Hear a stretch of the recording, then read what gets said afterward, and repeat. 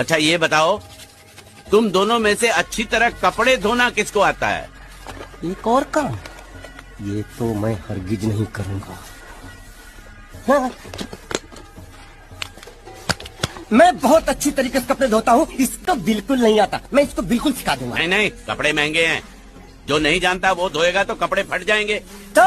ये काम तो तुमको ही करना पड़ेगा।